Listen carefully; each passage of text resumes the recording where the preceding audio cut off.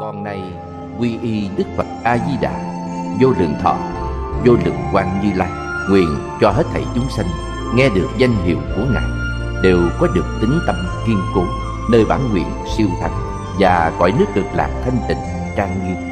Con nay quy y pháp môn tịnh độ, tính nguyện trì danh, cầu sanh cực lạc, nguyện cho hết thảy chúng sanh đều được thọ trì tu tập phương tiện thành Phật tối thắng này.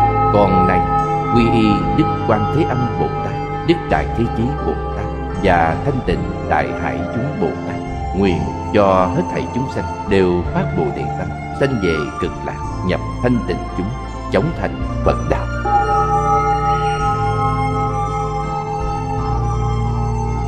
Tịnh độ Đại Kinh Giải Diễn Nghĩa Chủ giảng Pháp Sư Tịnh Không Chuyển ngữ Nguyên Thanh Biên tập Bình Minh Giảng ngày 21 tháng 3 năm 2011 Địa điểm Tịnh Tông Học viện, Úc Châu, Tập 335 Chư vị Pháp Sư, Chư vị đồng học, Xin mời ngồi xuống.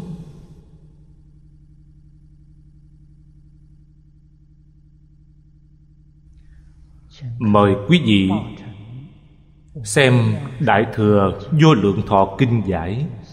Trang 390 Hàng cuối cùng. Hậu thử độ tu hành. Nhược sanh mà chướng. Tắc dĩ niệm Phật trị chi. Kiến chỉ quán cửu chi nhị. Đã nói ra chỗ xuất xứ. Đây là Tông Thiên Thai.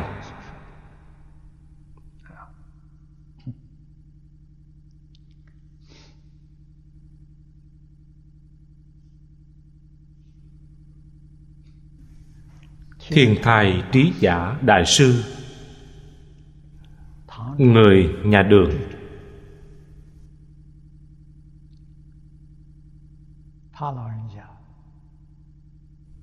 Cuối cùng, Ngài cũng niệm Phật cầu giảng sanh tịnh độ.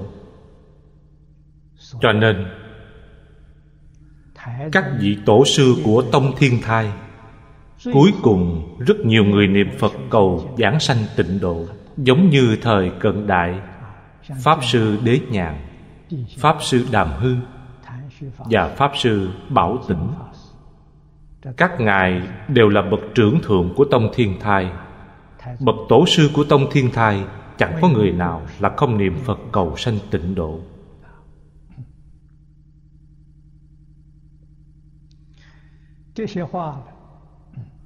Những lời nói này, đặc biệt là thời nay, chúng ta phải để tâm lưu ý.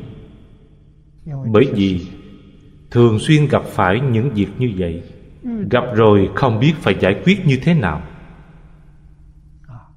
Đó là việc ma dựa, mê muội. Thông thường người ta nói là tinh thần không được bình thường. Nói năng lung tung. Cử chỉ thất thường. Khổ không tả xiết. Nếu như gặp phải trường hợp này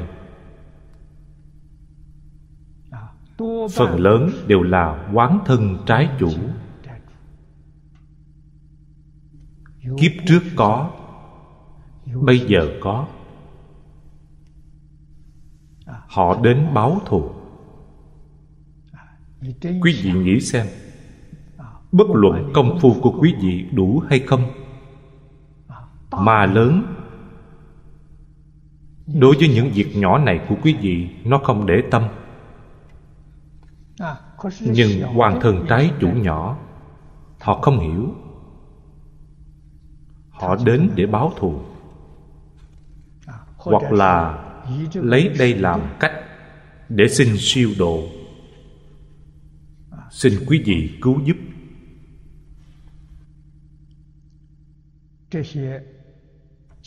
Những tình huống này không phải là nhất định. Chúng ta cần phải bình tĩnh cần phải dùng trí huệ quan sát, giúp đỡ họ giải quyết vấn đề. Phương pháp giải quyết căn bản thật sự không gì hơn niệm phật. Pháp sư quán đảnh cũng nhận định như vậy. Trong kinh vô lượng thọ đức thế tôn đã nhiều lần dạy bảo chúng ta. Chúng ta tự hiểu rõ. Trong tâm chỉ có phật a di đà ngoài phật a di đà ra, tất cả mọi thứ đều buông bỏ hết. Thì cuộc đời này của quý vị chắc chắn không bị chuyển ma.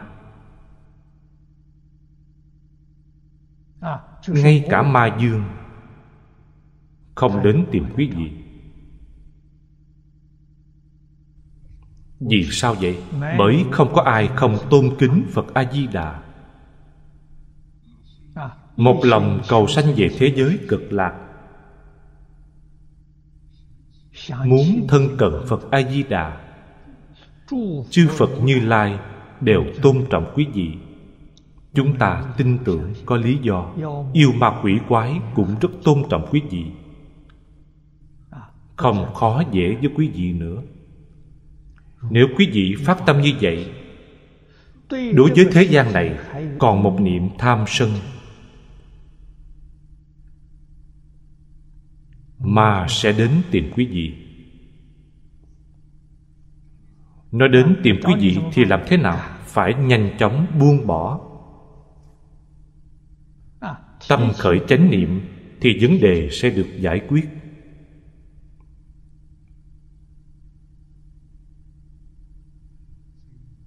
Chánh niệm là nhất hướng chuyên niệm.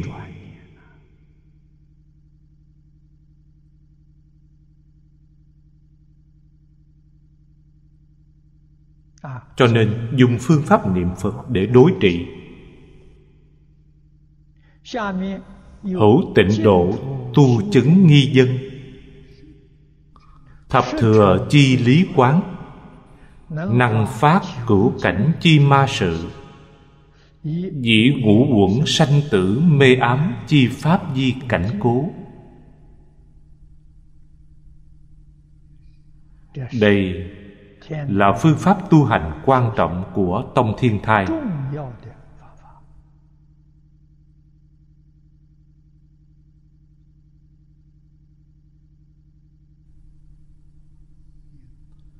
Cư sĩ hoàng niệm tổ trích dẫn ở đây chúng ta cũng tùy duyên đem thập thừa quán pháp giới thiệu sơ lược với mọi người. Cũng cung cấp cho quý vị tham khảo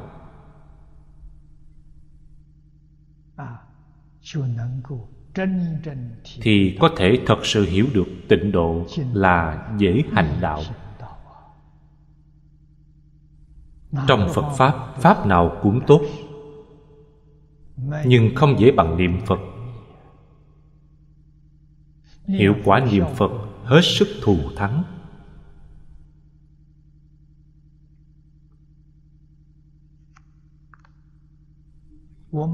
Chúng ta dụng phần tài liệu này được rút từ tam tạng pháp số.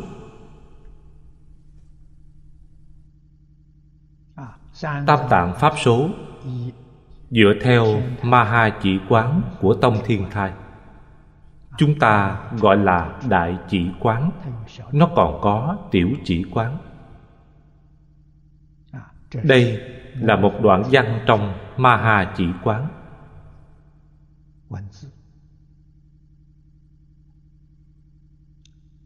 thập thừa giả. Thập thừa quán pháp giả. Thập thừa là gọi tắt.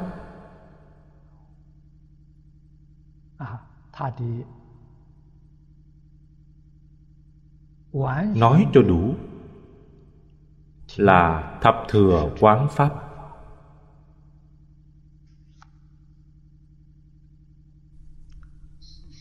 Thứ thập.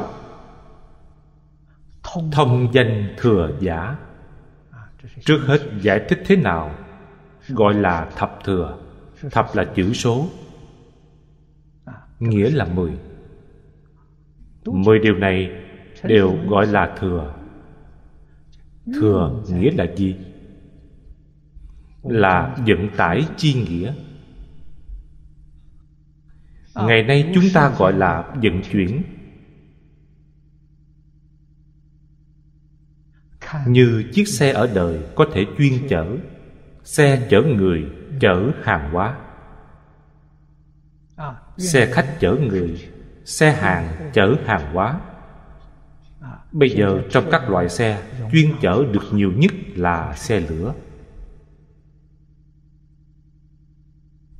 Nó dí cho đại thừa. Xe ô tô chở ít người hơn Được dí cho tiểu thừa Thời xưa Đại thừa là chỉ cho xe ngựa. Xe ngựa chuyên chở số lượng lớn. Tiểu thừa là xe dê, xe nai. Xe dê, xe nai Nhiều nhất chỉ có hai người ngồi. Hai người thân thể nặng thì nó kéo không nổi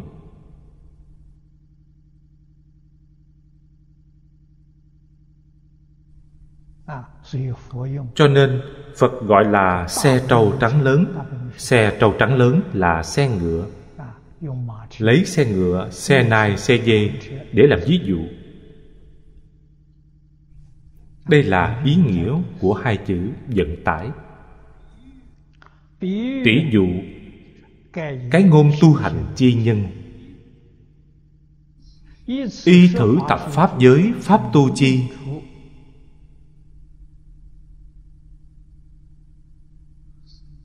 Tắc năng dựng xuất sanh tử khổ hải, Đáo ư niết bàn bỉ ngạn. Ở đây giảng rất rõ ràng. Xe này là xe công cụ giao thông. Giúp đỡ quý vị. Quý vị dùng 10 phương pháp này. 10 phương pháp này ví như công cụ giao thông. Quý vị dùng nó. Nó có thể chở quý vị ra khỏi biển khổ sanh tử tức là luân hồi lục đạo. Có thể giúp quý vị vượt thoát luân hồi lục đạo đến được bờ niết bàn bên kia.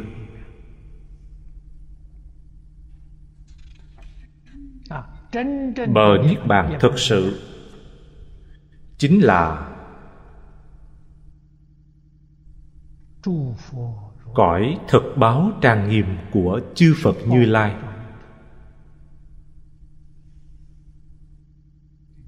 Đây gọi là bờ cứu cánh. Mười điều này đều là lấy điểm này là mục tiêu. Sanh tử có thể kéo dài đến pháp giới tứ thánh.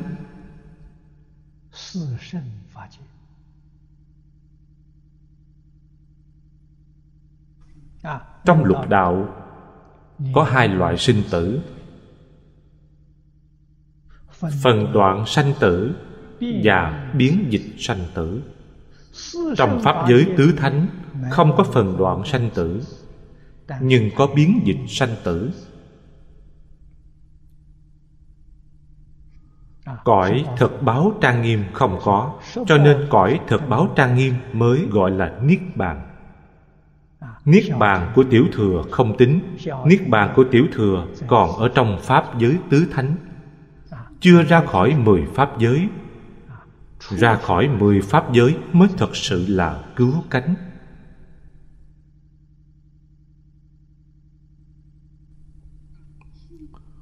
Số chí thập giả. Do tu quán chi nhân, Thượng trung hạ căn bất đẳng vì sao có 10 điều này? Sao nhiều như vậy? Ở đây muốn nói đến người tu hành. Người tu hành căn tánh không giống nhau. Thực sự có hàng thượng căn, trung căn và hạ căn. Thượng căn lanh lợi thông minh.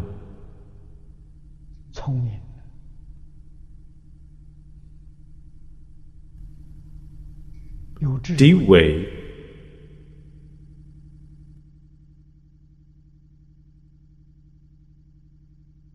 có định。gặp việc không loạn。luôn luôn giữ cho mình thanh tịnh vô vi cho nên gặp việc họ có thể dùng trí huệ giải quyết phàm phu không có năng lực này. Gặp việc thì hoang mang.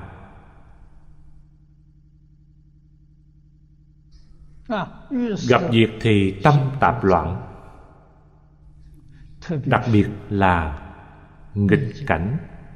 Người xấu gặp phải cảnh giới này trong tâm họ sợ hãi. Không thể thích hợp.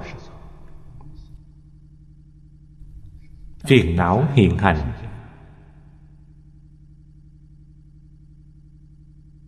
Đây là hàng hạ căn.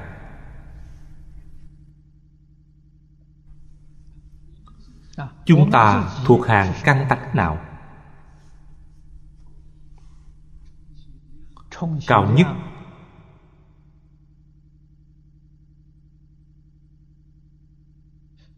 Là chúng ta thuộc hàng trung căn hơn hàng trung căn một chút. là hàng thượng trung căn.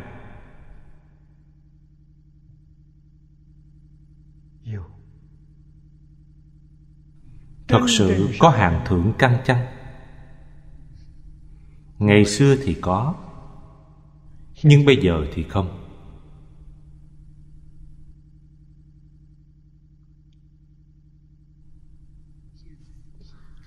thời bây giờ hàng hạ căn rất nhiều là hàng hạ căn nhưng hạ căn vẫn có thể thành tựu căn tánh thời bây giờ là hạ hạ căn vì sao vậy? Bởi tu mười pháp này mà không thành tựu được, Đó chẳng phải là hà hạ căn sao?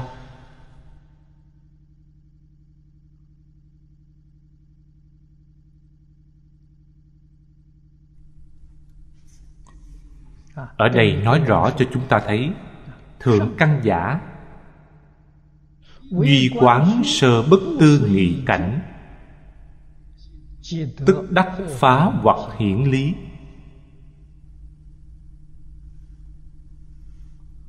Hàng thượng căn, trong mười điều này họ chỉ tu một điều.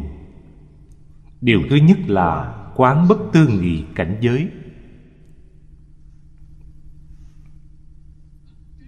Thật sự có thể nhìn thấu. Có thể thấy được thật tướng. Đây là chân tướng sự thật. Chân tướng trong cảnh giới. Họ đã phá trừ nghi hoặc. Phá trừ nghi hoặc nghĩa là đoạn mê. Hiển lý tức là kiến tánh. Nói cách khác Họ đã minh tâm kiến tánh. Minh tâm kiến tánh Là hàng Bồ Tát sơ trụ của Đại Thừa Viên Giáo.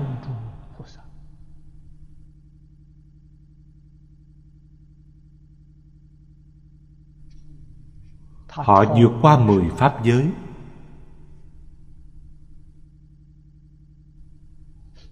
Ở cõi thật báo của chư Phật Như Lai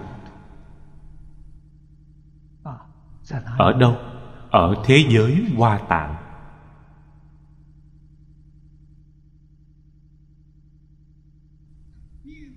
Người niệm Phật thì đến thế giới cực lạc, Cũng là cõi thật báo trang nghiêm của Phật A-di-đà. Trong bốn cõi, Họ sanh về cõi thật báo. Đây là hàng thượng căn. Thật không dễ.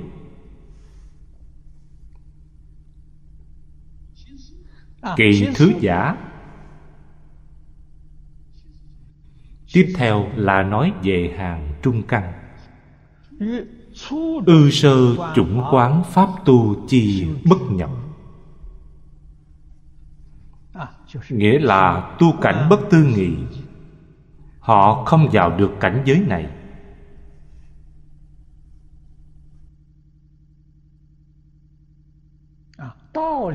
họ hiểu được lý. Đây gọi là giải ngộ.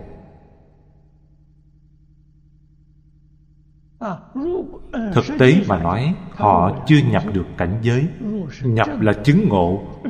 Họ chưa chứng ngộ. Có thể lý giải, nhưng chưa chứng ngộ. Vì sao vậy? Bởi họ không buông bỏ. Lý giải ở đây. Đại sư trương gia nói là nhìn thấu.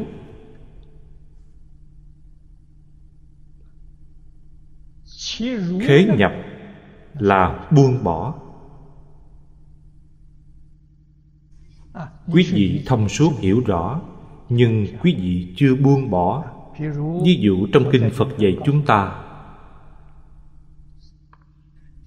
hàng tam thừa chứng quả. Chứng quả như thế nào?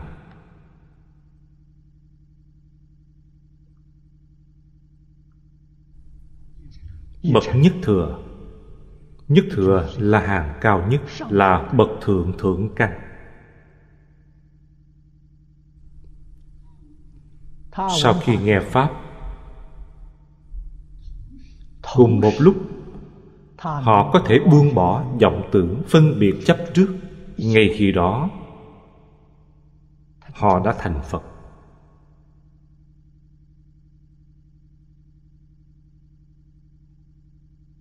Đạo lý này bây giờ chúng ta đã hiểu. Chúng ta nghe quá nhiều rồi. Đọc trong kinh cũng rất nhiều rất rõ ràng rất minh bạch. Nhưng không buông bỏ được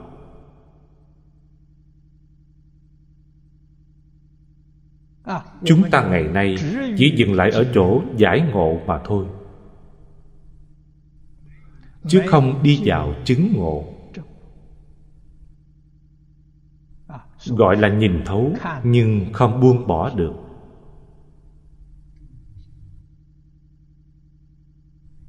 Bậc hạ căn và trung căn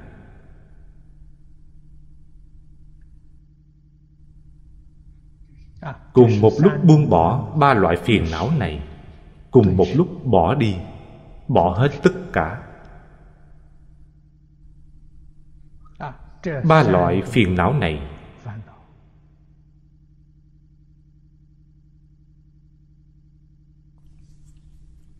Nặng nhất là khởi tâm động niệm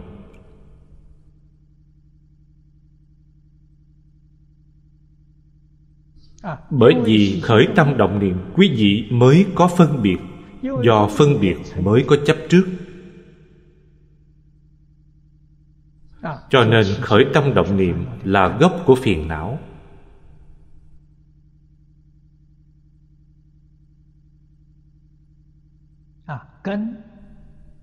Gốc không thể buông bỏ.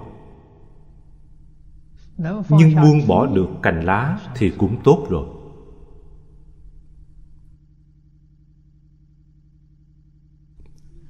Nếu chúng ta buông bỏ được phân biệt chấp trước thì quý vị vào hàng bồ tát đã chứng được quả vị này. Nếu phân biệt cũng không buông bỏ được chỉ buông bỏ được chấp trước. Ở trong pháp thế gian và xuất thế gian không chấp trước nữa đây gọi là phiền não kiến tư hoặc. Có thể buông bỏ được phiền não kiến tư hoặc. Không còn chấp trước nữa.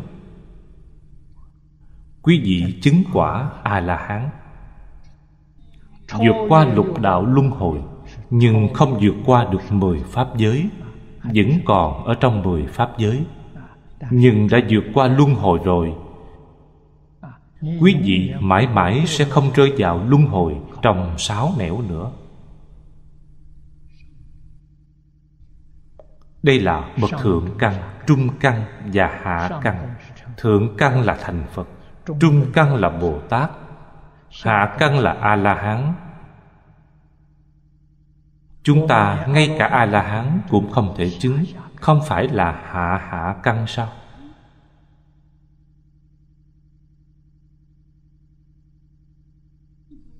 Nếu như trong kiếp này tạo nghiệp bất thiện, kiếp sau ngay cả thân người cũng không làm được. Đó là hạ hạ hạ căn.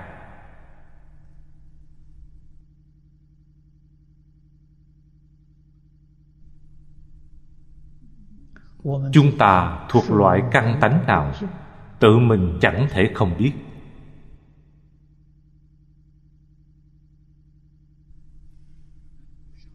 Thượng căn.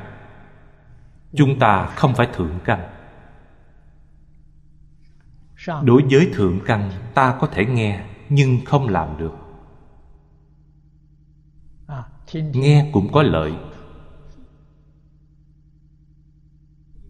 Biết đâu nó có thể giúp quý vị nâng cao cảnh giới. Từ trung căn lên đến thượng căn. Điều này có thể phật pháp thường nói, thâm nhập một môn, quân tu lâu dài. Tu tập thời gian dài thì nó đã giúp quý vị nâng cao rồi.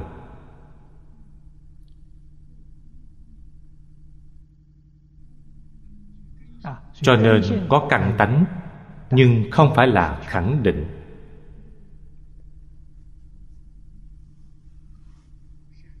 Căn lành phước đức có khi thêm có khi bớt.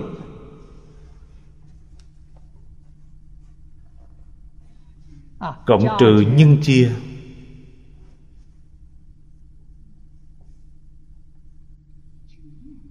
Từ kiếp lâu xa đến nay không gián đoạn tiếp nối không dứt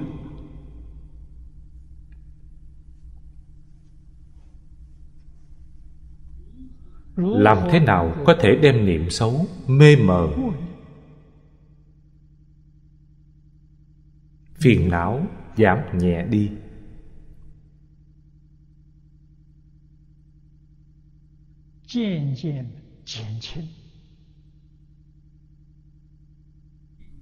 Không tăng thêm nữa. Đây là công phu. Làm thế nào đem niệm lành? Tánh đức ngày ngày nâng cao.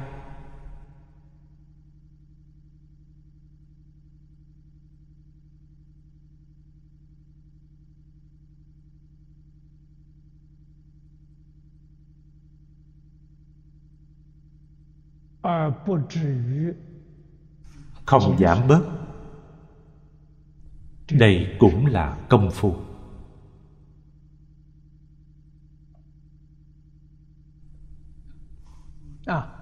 Trong đạo phật, bất luận là tông phái nào, là pháp môn nào, ta cũng tôn trọng.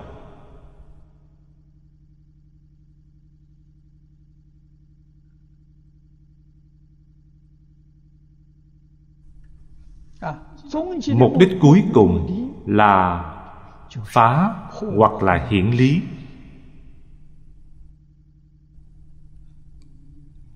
Thông thường chúng ta nói là phá mê khai ngộ.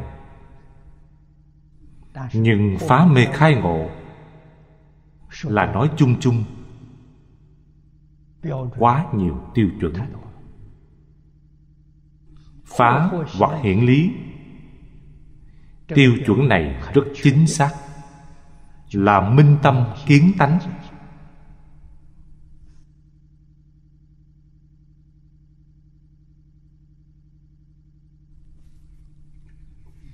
Lấy cái này là mục tiêu.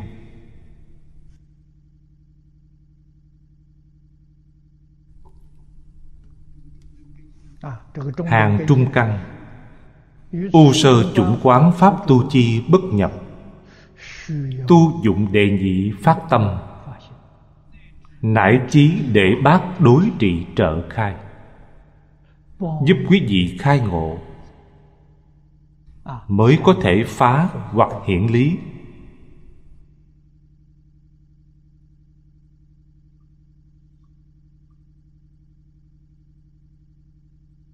Cho nên sự tu học của họ phiền phức hơn loại thứ nhất họ cần thật nhiều sự giúp đỡ. Không giống hàng thứ nhất. Người ta căng tánh lanh lợi, không cần giúp đỡ. Một phương pháp là đủ rồi.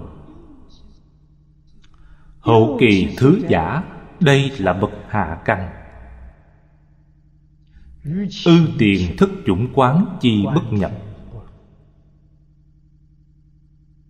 Chúng ta đã hiểu được sau cùng vẫn còn thứ 8, thứ 9 và thứ 10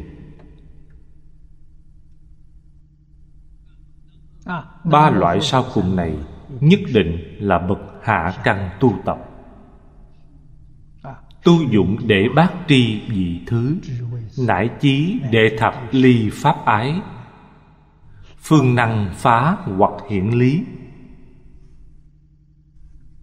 Quý vị nghĩ xem tất cả đều là buông bỏ.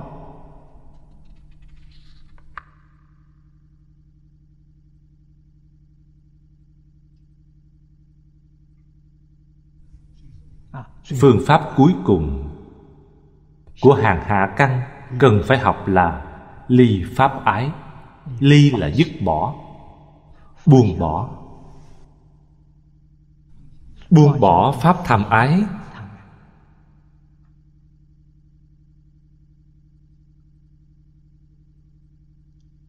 tham ái pháp thế gian được có thể buông bỏ.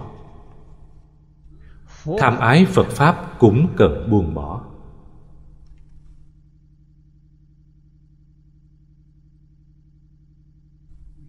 Vì sao vậy? Vì phật pháp là pháp nhân duyên sanh, không có pháp thế gian. Làm sao có phật pháp? Cho nên, phật pháp là nương pháp thế gian mà có. Pháp thế gian là bệnh, phật pháp là thuốc. Thuốc từ đâu mà có? Vì có bệnh mới có thuốc, không có bệnh thì làm gì có thuốc?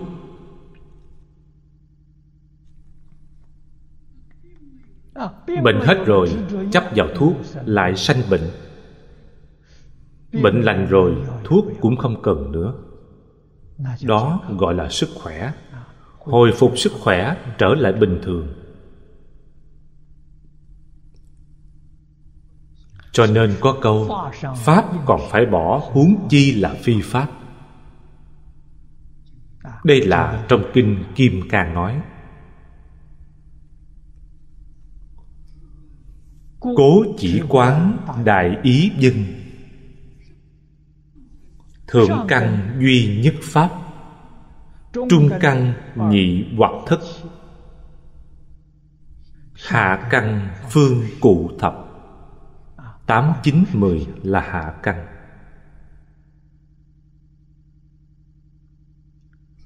Hữu di tri diệu cảnh di cửu thừa chi bổn. Tri diệu cảnh là quán thứ nhất, Cảnh giới không thể nghĩ bàn.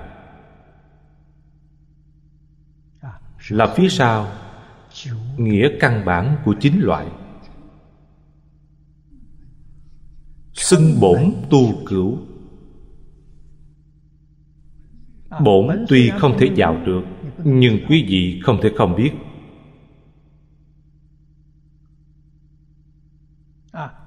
Phía sau chính phương pháp, phương kham nhập ư sơ trụ. Nhập ư sơ trụ đây là chứng quả. Bồ tát sơ trụ của duyên giáo đã vượt qua mười pháp giới. Cho nên mục tiêu tu hành là vượt qua mười pháp giới. Vượt qua mười pháp giới nhất định là phá mê tỏ lý. Mê là phiền não là chỉ cho vô minh phiền não trần sa phiền não, kiến tư phiền não. Đối với ba loại phiền não này, đều đã xa rời, đều đã dứt bỏ. Mê bị phá rồi. Mê là chướng ngại chướng ngại bỏ đi, tự tánh hiện tiền.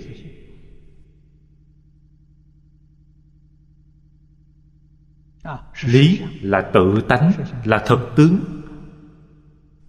Thật tướng tức là chân tướng chân tướng của con người và vũ trụ.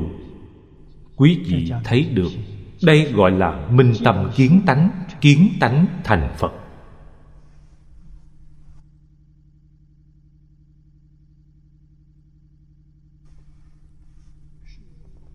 Thị cố bị luận thử thập thừa giả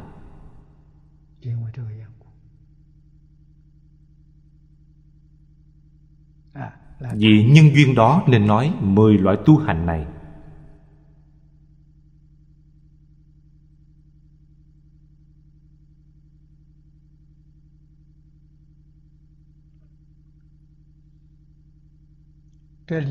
Trong đó cho chúng ta một thông tin rất hay.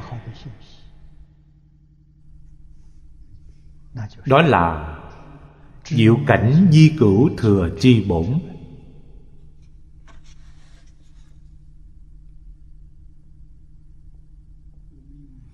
Chúng ta dùng một câu nói đơn giản nhất để nói là nhìn thấu. Là căn bản của sự buông bỏ.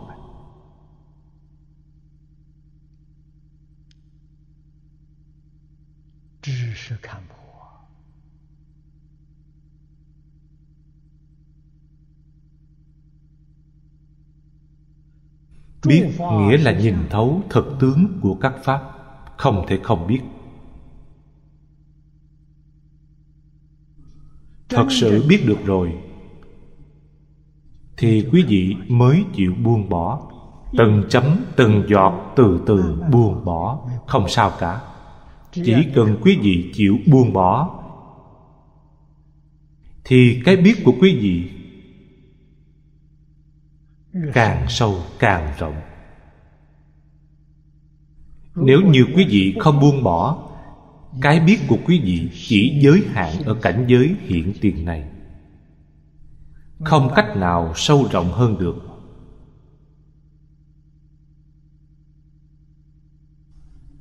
Trí huệ của quý vị cạn cợt, trí huệ nhỏ không phải trí huệ lớn. Thật sự chịu buông bỏ trí huệ của quý vị càng ngày càng lớn, càng ngày càng sâu. Đạo lý là như vậy.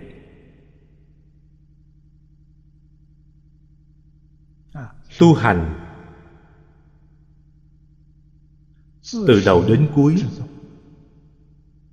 Đầu là lúc mới phát tâm. Cuối là quả vị phật viên mãn. Bí quyết là ở chỗ nhìn thấu buông bỏ. Nhìn thấu là quán.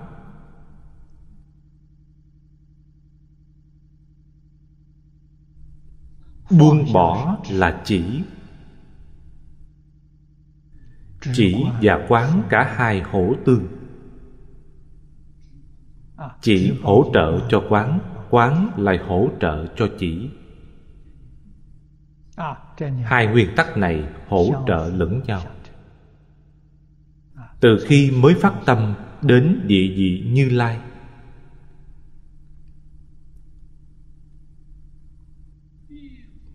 Biến pháp giới hư không giới. Phàm phu tu hành thành phật. Pháp môn nhiều hơn nữa. Pháp môn vô lượng. Nguyên lý là cái này trái với nguyên lý này, tức là tà đạo. Tà pháp là sai. Tám dạng bốn ngàn pháp môn đều thuận theo đạo lý này. Toàn là phật pháp không sai. Mỗi pháp môn đều có thể thành đạo vô thượng mỗi pháp môn đều có thể giúp quý vị phá mê tỏ lý. Cho nên mới nói, pháp môn bình đẳng không có cao thấp. Tuy có cao thấp, nhưng đối với người tu hành mà nói, bởi vì người tu hành căn tánh không giống nhau. Thượng căn, trung căn và hạ căn không giống nhau cho nên có khó, có dễ, không giống nhau. Có người tu hành cảm thấy rất khó. Vì sao? Vì quý vị không phải hàng căn cơ này, nên học pháp môn này sẽ rất khó. Hợp với căn cơ của quý vị, thích hợp với căn tánh của quý vị thì quý vị tu rất dễ, không khó.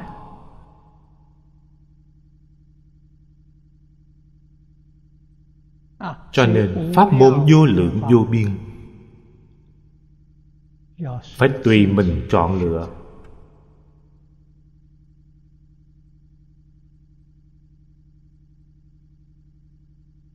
Sau khi chọn lựa ổn thỏa rồi, hãy thâm nhập một môn, quân tu lâu dài.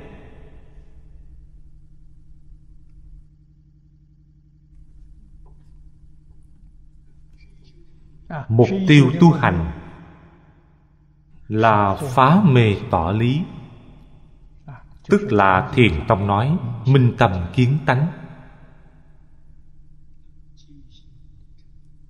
Kiến tánh thành phật. Sơ trụ tức là phật. Phật thật không phải phật giả.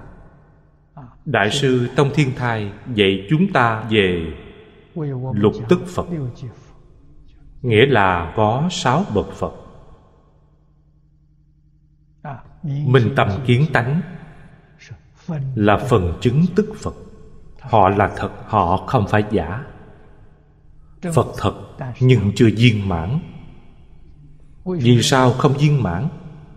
Bởi chưa cắt đứt được tập khí vô thị vô minh. Vô thị vô minh cắt đứt được rồi. Nhưng còn tập khí.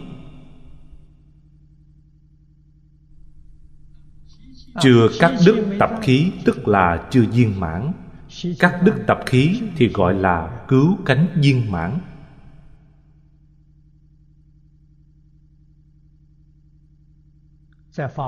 Ở trong pháp hoa hoa nghiêm gọi đó là diệu giác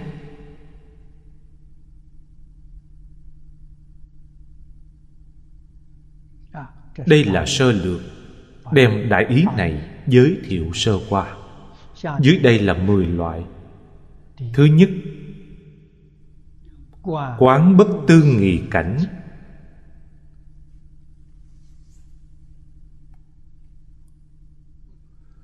Quán là năng quán, là trí huệ. Cảnh là sở quán, là cảnh giới.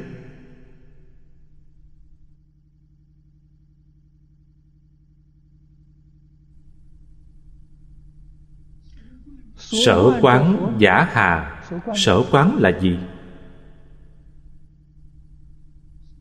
Sở quán có nhiều nhưng bất xuất sắc tâm.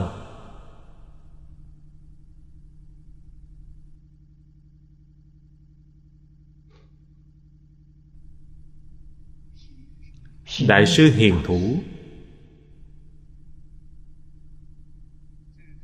Có viết trong cuốn luận văn cuốn luận văn này gọi là tu hoa nghiêm áo chỉ vọng tận hoàng nguyên quán.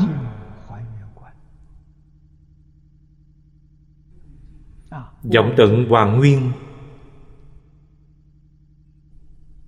Hoàng nguyên tức là đã thành phật.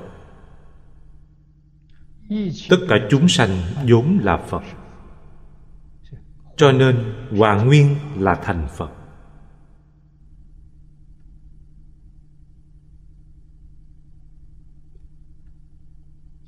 vì sao bây giờ không thể thành phật? Bởi vì quý vị có vọng vọng là gì?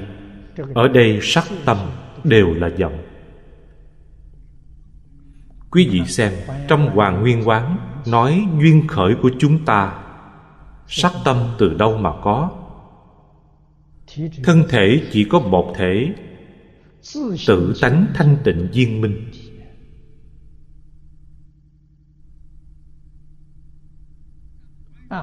Hoàng Nguyên. Tức là quay về thể tự tánh thanh tịnh viên minh. Đây gọi là diệu giác.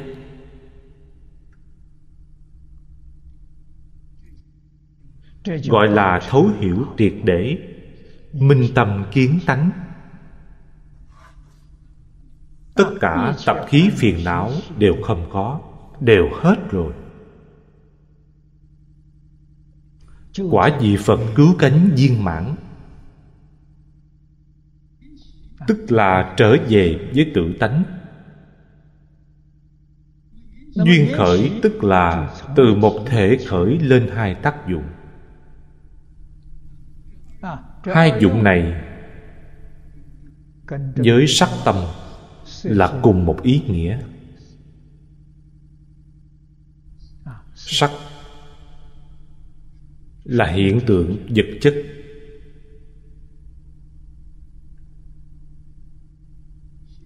Tâm là hiện tượng tinh thần. Sinh ra hai hiện tượng này.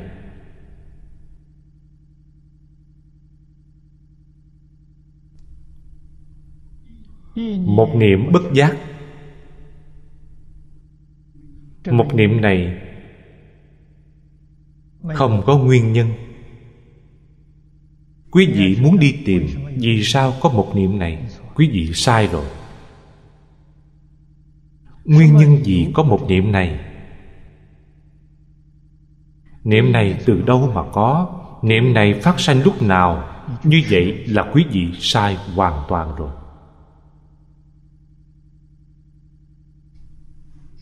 Đức phật dạy một niệm không có bắt đầu quý vị thật sự hiểu được không có bắt đầu, không có bắt đầu nên chắc chắn không có kết thúc.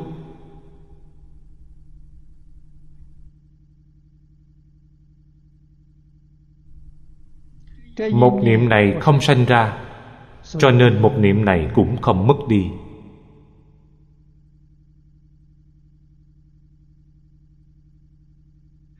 Một niệm này không làm, nhưng không việc gì nó không làm.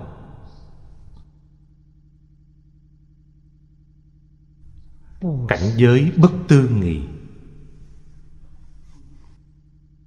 quý vị không thể tưởng tượng. Quý vị càng tưởng tượng càng sai. Vì sao? Bởi quý vị từ vọng tưởng sanh ra phân biệt, sanh ra chấp trước, càng nghĩ càng sai.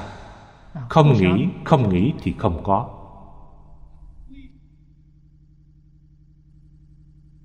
Vì sao không thể nghĩ nó? Vì nó không có thật đạo lý là đơn giản như vậy. Nó là hư huyễn.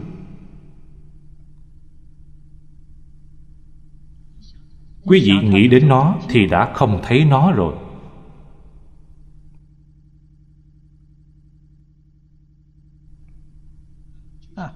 Như chúng ta đối diện, hình ảnh trên màn hình.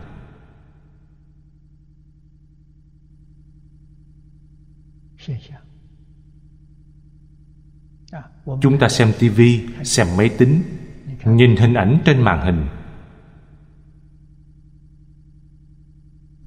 Những hình ảnh này có không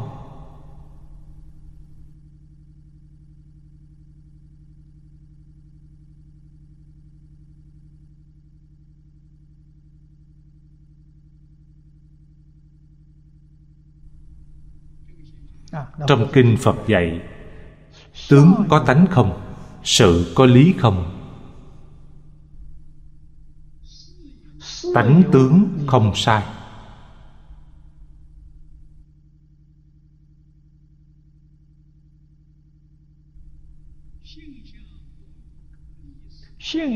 Lý sự như nhau.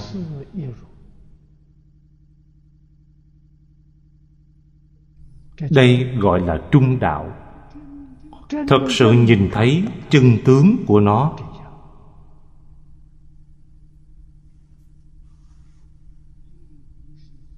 Có với không là một không phải hai.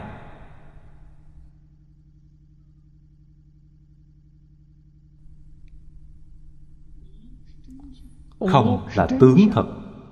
Có là tướng quyển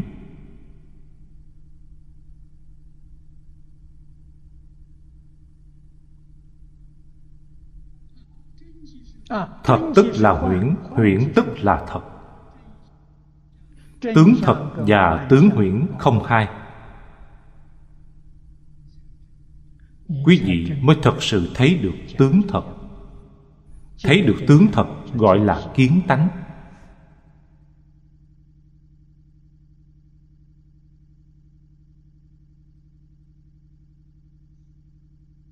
Thật sự phá mê tỏ lý hiểu rõ rồi. Nếu khi xem tivi xem internet, quý vị dùng tâm lý này xem.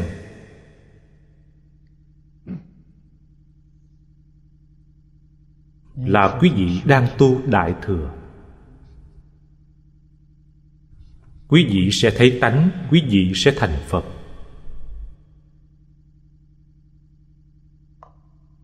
Vì sao? Vì quý vị không chấp tướng.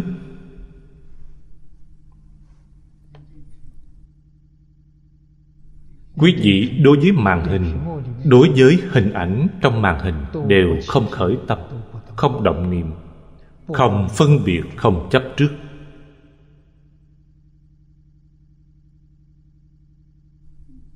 Quý vị không hay biết đã vào trong cảnh giới sơ trụ từ lúc nào cho nên quý vị nghĩ xem. Pháp nào không phải là phật pháp?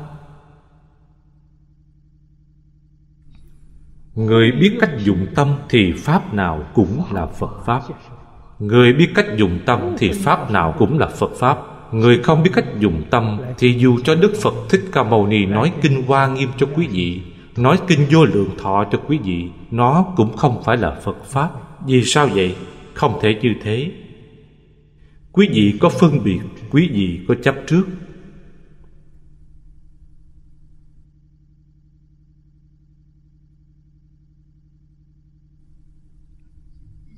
Cho nên tất cả pháp đều không ngoài hai thứ này. Sắc, ngày nay chúng ta gọi là hiện tượng vật chất. Tâm là hiện tượng tinh thần.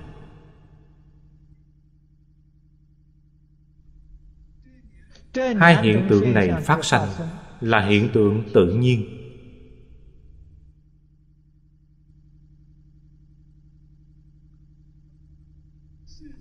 Sắc tùng tâm khởi toàn thể thị tâm. Câu này quan trọng. Nó nói lên điều gì? Nói lên hiện tượng vật chất.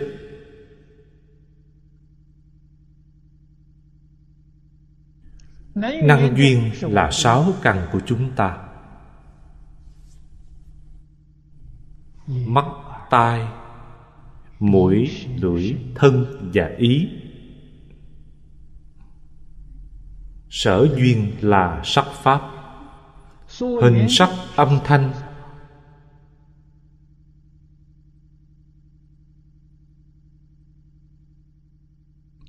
Mùi vị xúc chạm và pháp. Năng duyên sở duyên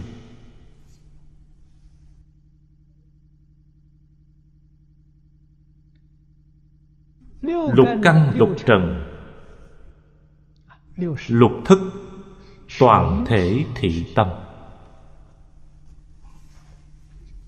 Vì sao vậy? Bởi do tâm hiện.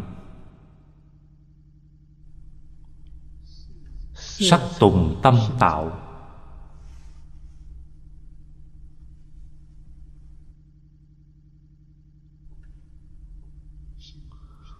Tâm là năng tạo sắc là sở tạo tức là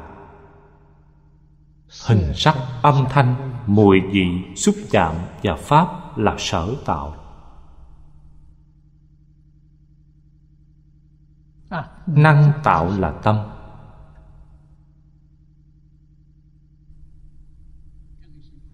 Tâm này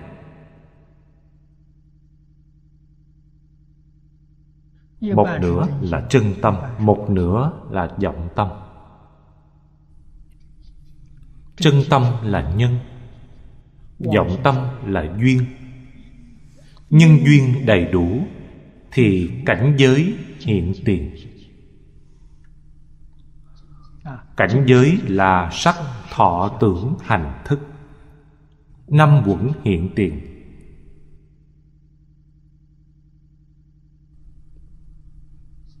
cho nên, thể của pháp là tự tánh.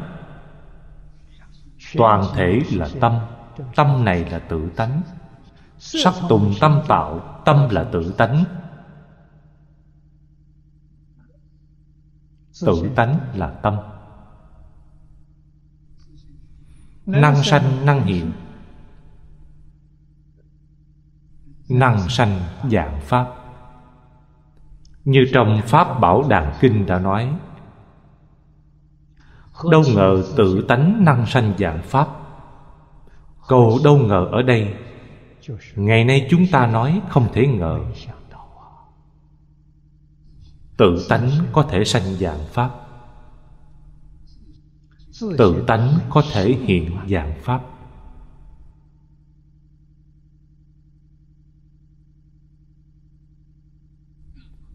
Khi tự tánh mê thì gọi là thức. Thức là vọng tâm. Nó mang đến mê muội.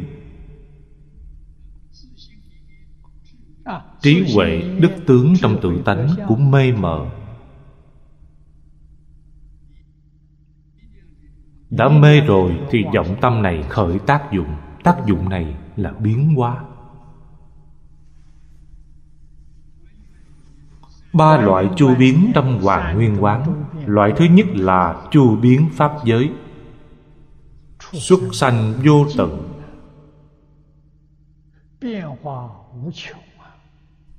Mười pháp giới y chánh trang nghiêm. Tức là tướng mạo của nó.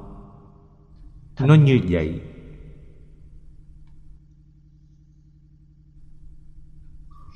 Cho nên thức là năng biến. Mười pháp giới y chánh trang nghiêm là sở biến.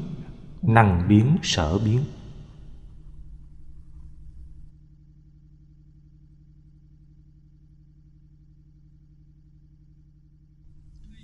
Không có thức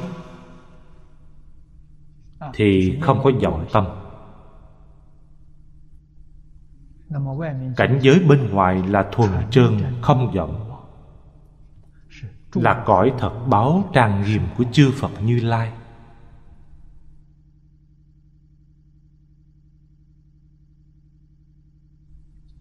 Gọi là cõi pháp tánh.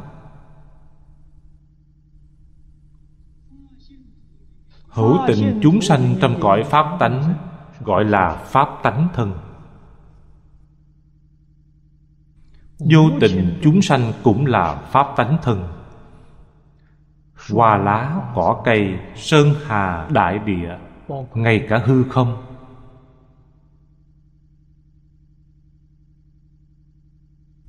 Cũng gọi là pháp tánh thân.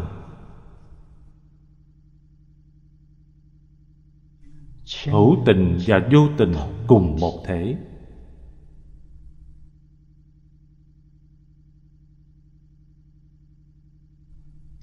Trong giáo pháp đại thừa, gọi là thực tướng của các pháp.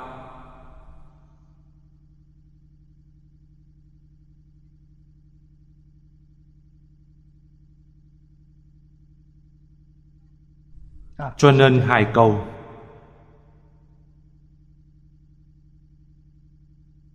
Sắc tùng tâm tạo, toàn thể thị tâm.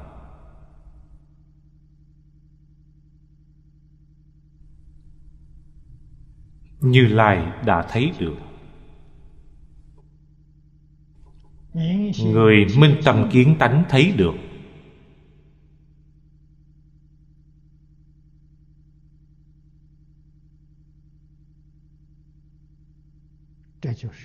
Đây là vào tri kiến phật.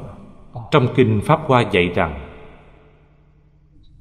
cố kinh dân tam giới vô biệt pháp, duy thị nhất tâm ác. Trong triết học, đứng về mặt bản thể mà nói, bản thể của muôn sự, muôn vật.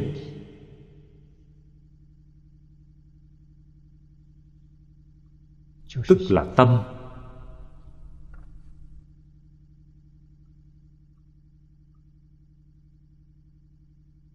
Ngoài tâm không có pháp, ngoài pháp không có tâm.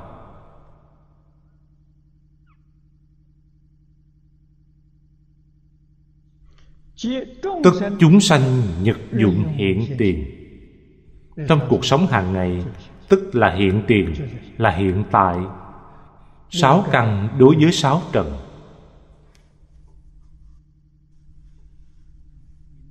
Mắt đối với sắc tai đối với âm thanh.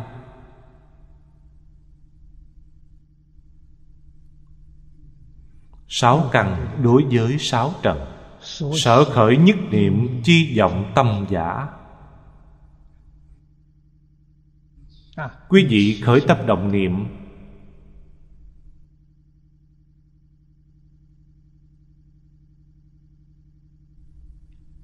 Quý vị động tâm.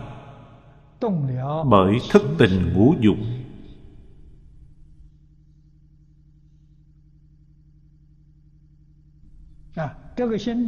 tâm này trơn biến thành vọng vốn là chân tâm.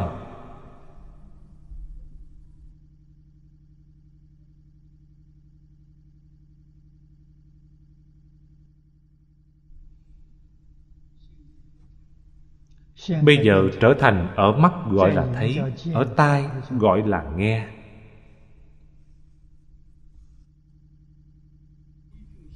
Tùy theo tâm tâm sở đổi danh từ. Thật ra, đó là một việc. Kim đạt vọng tức chân đã thông đạt hiểu rõ giác ngộ. Vốn dĩ vọng tức là chân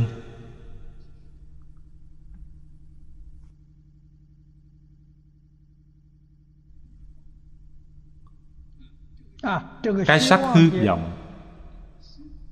Cái tâm hư vọng này đều là chân tâm hiện. đều là chân tâm sanh.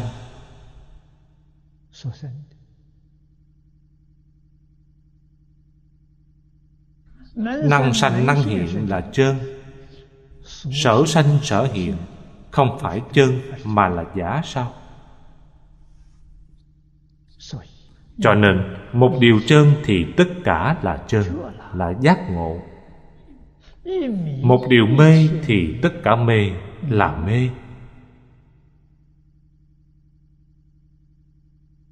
Phàm thánh không phân biệt. Chỉ ở chỗ mê ngộ không giống nhau mà thôi.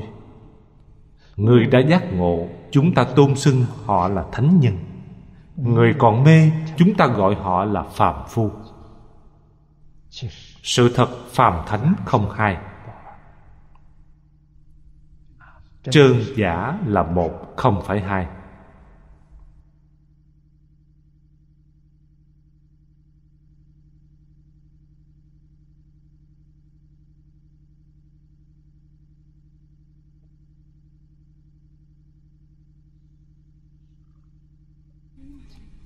Tức thử vọng tâm, cụ túc chư pháp vô hữu khuyết giảm.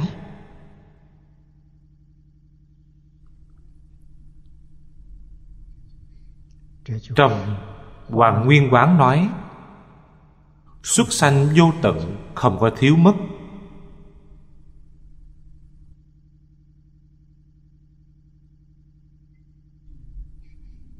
Không có hào bớt.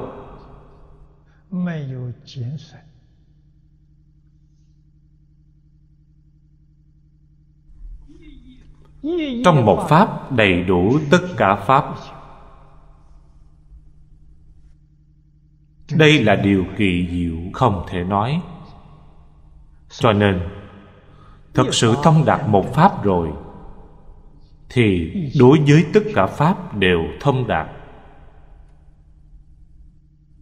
Vì sao vậy? Bởi trong một pháp có đủ tất cả pháp tất cả pháp có đủ một pháp. Một và nhiều không hai. Một tức là nhiều nhiều tức là một. Cho nên một cái thông thì tất cả đều thông. Đạo lý là như vậy.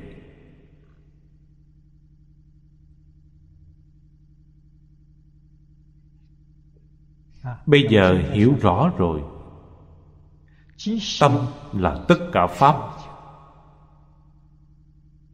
Tất cả pháp là tâm.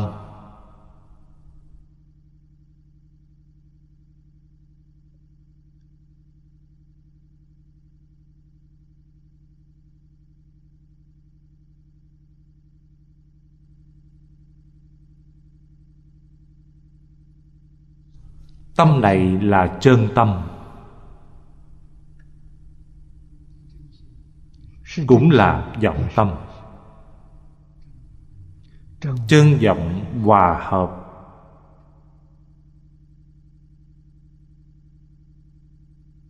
Gọi là a lại gia. Phi nhất phi nhị, bất tiền bất hậu. Nó là nhất tâm.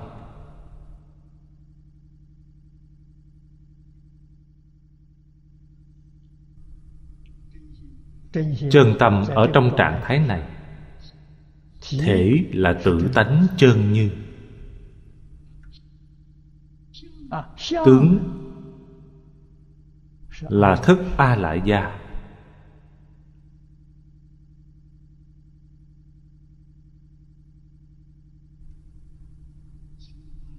Từ a lại gia. A lại gia là năng biến. Biến thành mặt ta phàm phu chúng ta cho đó là tâm. biến thành sắc pháp. Thân thể này của chúng ta chúng ta cho rằng nó là thân.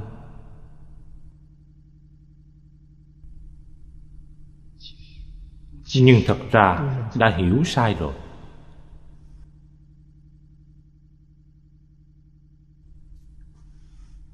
không được chấp trước, không được phân biệt. Không thể nói nó giống nhau, cũng không thể nói nó khác nhau. Không thể nói cái nào ở trước, cái nào ở sau. Phàm phu chúng ta nhất định cho rằng tự tánh ở trước, a lại gia ở sau. Thưa quý vị, thật không có trước sau.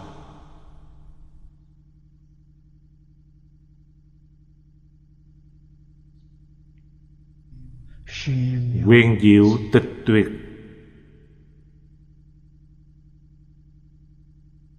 Phi thức sở thức, phi ngôn sở ngôn.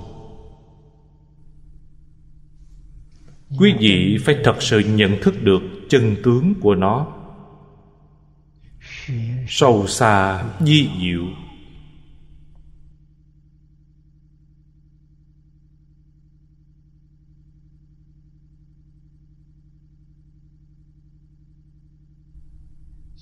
Yên tĩnh tuyệt vời.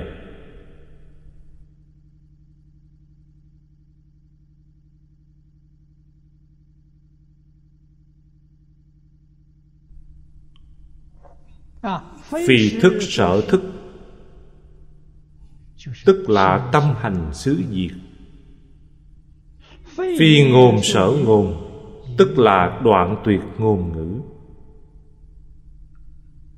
cho nên cảnh giới này không thể tưởng tượng.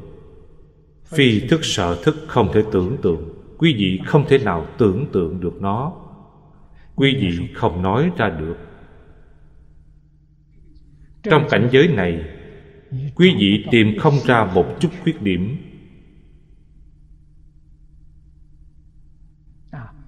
Vô cùng hoàn mỹ.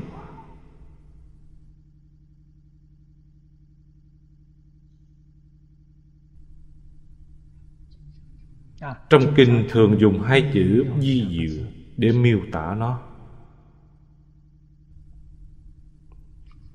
Quả thật mà nói, thế gian và xuất thế gian không tìm được lời thích hợp để miêu tả nó. Không cách nào miêu tả. Vì nó quá di diệu. Nó ở đâu? Ở ngay trước mặt.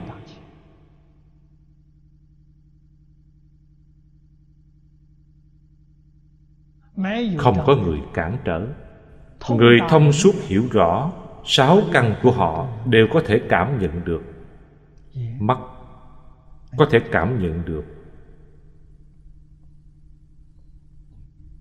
Tai có thể cảm nhận được. Mũi lưỡi thân và ý đều có thể cảm nhận được. Mê rồi mê rồi thì không biết gì cả. Tê liệt hết người xưa gọi là mất cảm giác.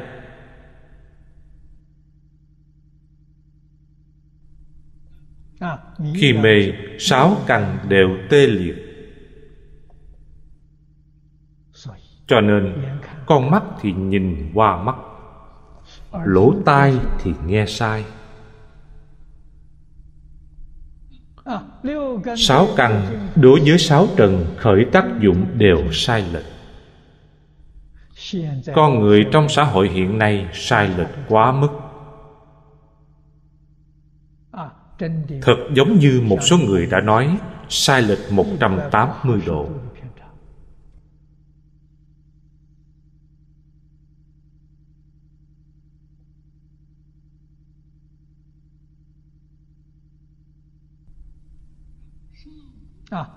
Bậc cổ đức thời xưa có sai lệch khoảng chừng 45 độ.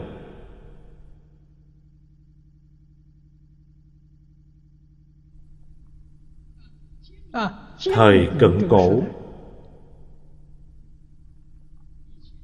Thời đại này trên dưới một ngàn năm trước, cách chúng ta gần hơn. Sai lệch khoảng chừng 90 độ. Thế giới hiện nay sai lệch 180 độ. Cho nên thiên tai nổi lên.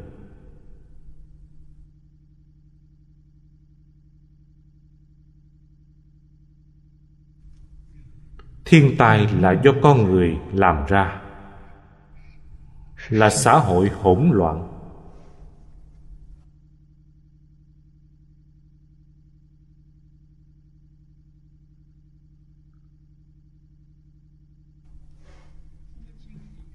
Trong kinh phật nói, ba thiên tai nhỏ là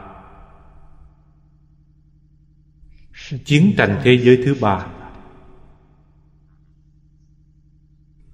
Chiến tranh hạt nhân.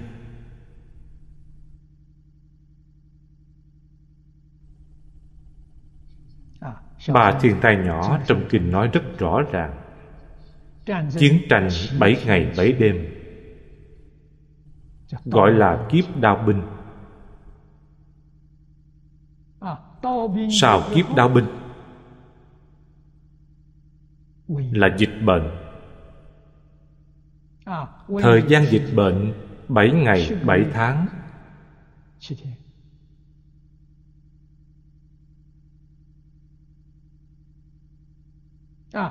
Tiếp đó là đói khát.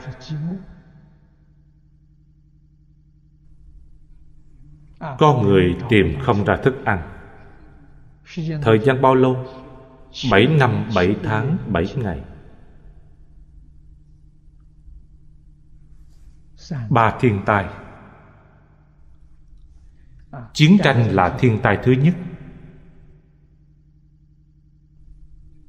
Thứ hai là đói khát. Thứ ba là dịch bệnh. Cùng theo đến.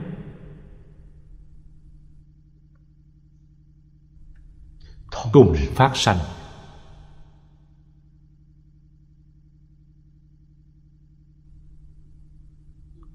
Khi chúng tôi còn trẻ học phật rất nghi ngờ về việc này.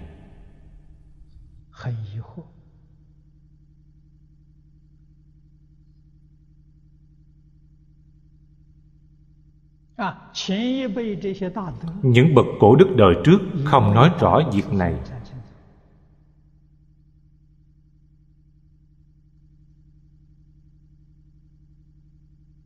Năm tôi 50 tuổi.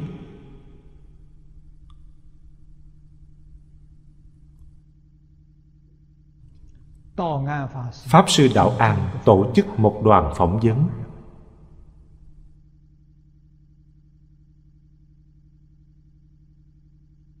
Phỏng vấn Nhật Bản. Hòa Thượng mời tôi cùng đi. Tôi đi theo Ngài. Tạm thời làm thị giả Ngài.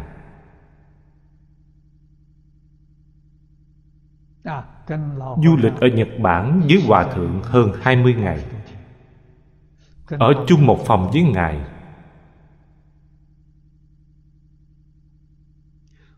Tôi đến quảng đảo Trường Kỳ xem. Chợt hiểu ra rằng Chỗ này vốn có là ba thiên tai nhỏ. Người địa phương đó nói với tôi, Họ còn có dựng phòng triển lãm. Đạn nguyên tử phát ra.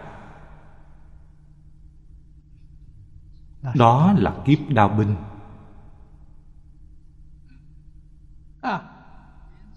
Phóng đi tia đạn nguyên tử. Giống như xưởng điện năng lượng hạt nhân của Nhật Bản bây giờ.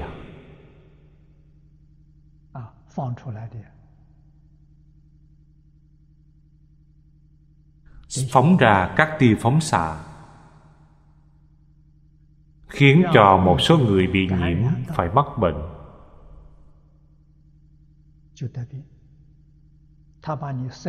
nó làm cho bộ phận tế bào của quý vị hư hoại đi.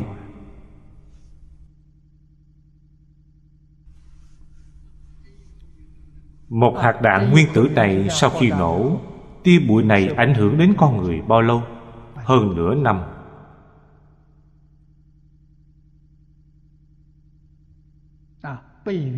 Bị tia sáng của đạn nguyên tử này chiếu đến nếu quý vị có thể sống được 7 tháng trở lên, Thì quý vị sẽ sống.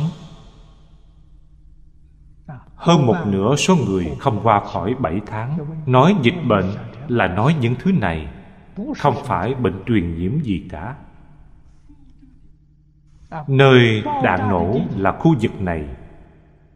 Đến năm thứ 8 Khi chúng tôi đi là năm thứ 8 Trên đất mới mọc cỏ. Nơi đó không vật gì sống nổi. Đó không phải là đói khát sao?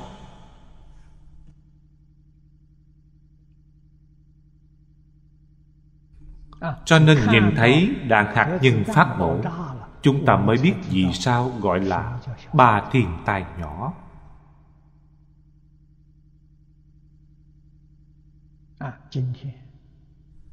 Ngày nay trên địa cầu có thiên tai trong thiên tai này cũng bao gồm ba thiên tai nhỏ. Đó là gì? Chiến tranh hạt nhân, Chiến tranh hóa học. Trong Phật Pháp gọi là ba thiên tai nhỏ.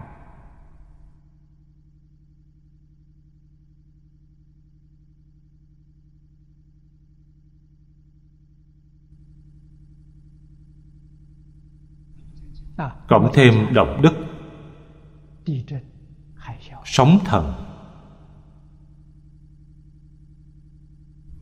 Nạn nước hạn hán. Độ nóng của địa cầu lên cao. Trên thế giới nam bắc cực. Trên núi cao băng tuyết tan chảy.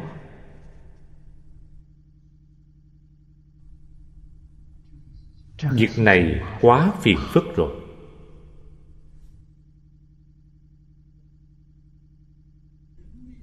loài người sinh sống không thể thiếu nước. Nếu như sông dài sông rộng những nguồn nước này bị ngưng đi nguồn nước của nó là tích chứa tuyết trên núi cao. Sau khi tuyết trên núi tan hết thì nguồn nước bị ngưng. Quốc gia đều biến thành sa mạc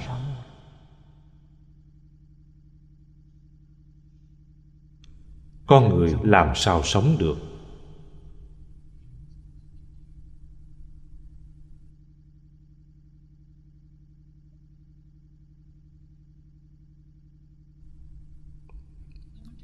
Những kinh văn này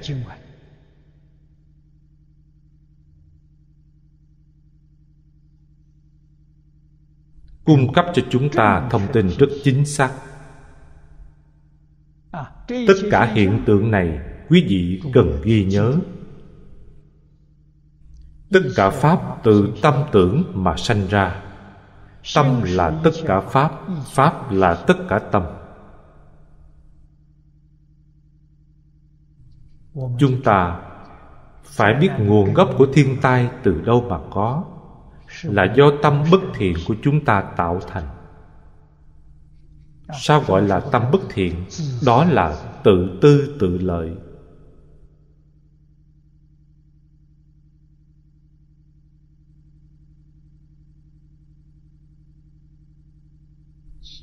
Khởi tâm động niệm, tổn người lợi mình.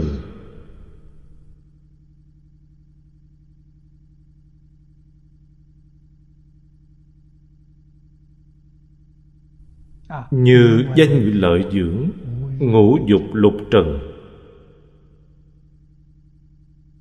Tham sân si mạng.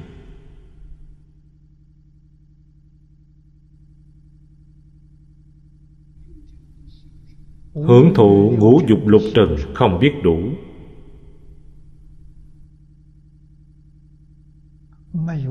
Thật quá đáng.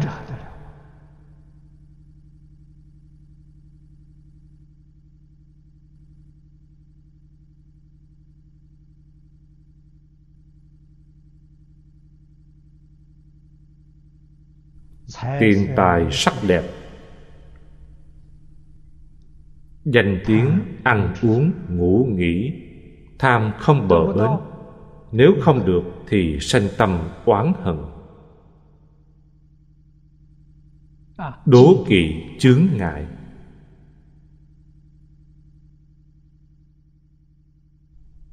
Điều này hoàn toàn trái ngược với tánh đức hiện nay trong giai đoạn này,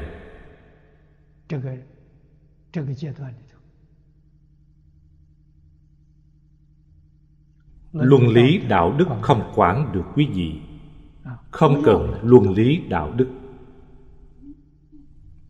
Nhân quả không quản được quý vị. Không tin nhân quả. Thần thánh không quản được quý vị không tin có thần. Không tin có quỷ. Pháp luật cũng không quản được quý vị. Quý vị rất thông minh. Tìm kẻ hở của pháp luật, làm việc xấu như thế nào cũng đúng pháp. Thật đúng là bất chấp đạo trời phép nước. Con người đến lúc bất chấp đạo trời phép nước nên trời phải xuống quản đây gọi là người tính không bằng trời tính. Bất luận quý vị có tính toán như thế nào cuối cùng ông trời tính một cái là xong hết. Đó là thiên tài lớn giáng xuống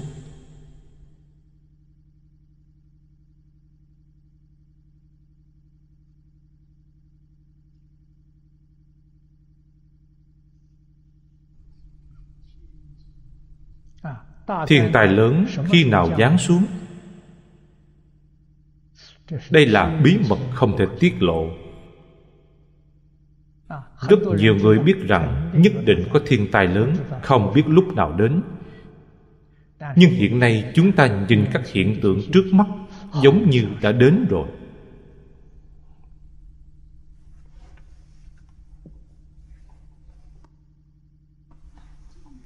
mặc dù lực lượng chính chưa đến, quân đội tiền tiêu đã đến rồi. Chúng ta có thể không cảnh giác sao?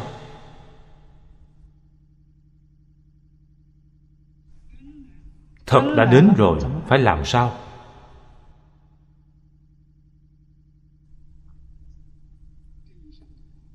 Đoạn nhỏ này quán bất tư nghị cảnh giới.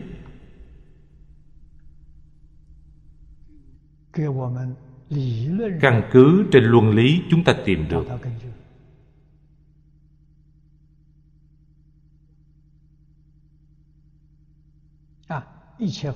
Nếu tâm của chúng ta tốt cảnh giới bên ngoài cũng tốt.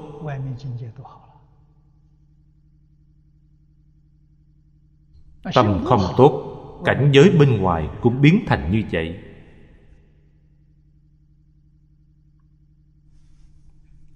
cho nên, ngay cả nhà khoa học nước mỹ là bố lai đăng cũng nói, chúng ta đối phó với 2012 dự đoán thiên tai mã nhã.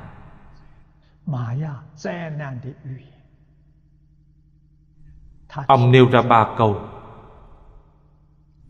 Cầu xin con người trên toàn thế giới. Một là bỏ ác làm lành, đem tất cả hành vi, ý nghĩ xấu buông bỏ, lánh xa nó để phát huy làm điều tốt. Câu thứ nhất, bỏ ác làm lành.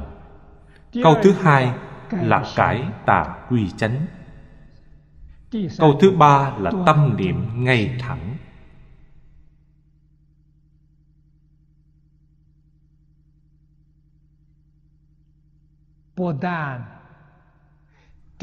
Chẳng những thiên tai này có thể hóa giải mà còn khiến cho địa cầu tương lai càng tốt đẹp. càng mỹ mãn. Lời nói này không sai chút nào. Giống với những lời trong kinh điển phật dạy chúng ta là một đạo lý có thể nói là hoàn toàn giống nhau. Vấn đề là những người này có chịu sửa đổi hay không?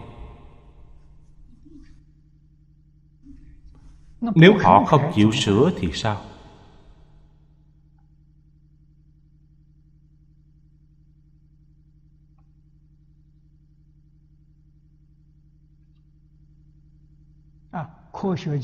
Giới khoa học quả thật cũng rất từ bi. Họ nêu ra cho chúng ta một số liệu. Tổng dân số dân cư trên địa cầu khoảng chừng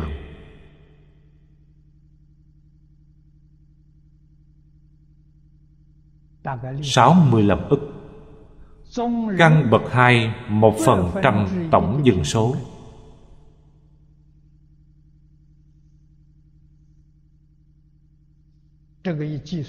Tính ra khoảng chừng tám ngàn người.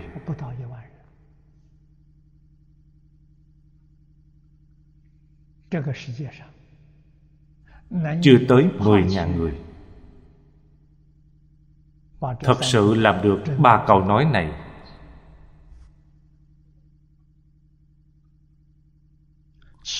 Bỏ ác làm lành Cải tà quy chánh Tâm niệm ngay thẳng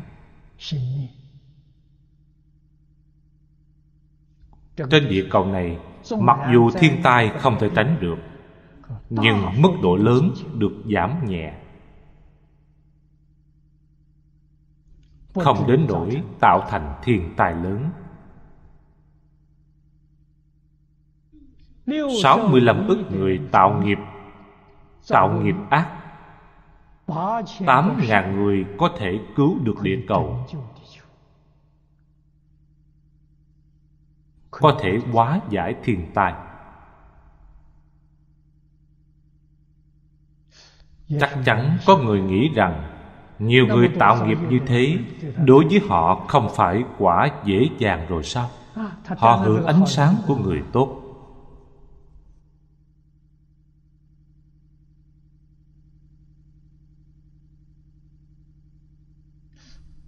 Đạo lý này có thể nói rõ được sao?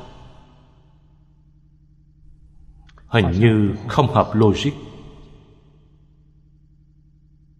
Để có thể nói rõ được. Vì sao? Vì họ không thoát khỏi nhân quả báo ứng. Giết người phải đền mạng. thiếu nợ phải trả tiền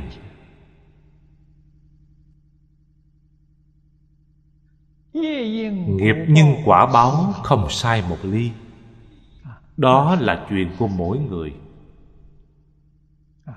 Nhưng nếu hôm nay chúng ta có thể đồng tâm hiệp lực, chúng ta dùng phương pháp gì? Một câu danh hiệu phật, tâm niệm chân thành. Một câu danh hiệu phật này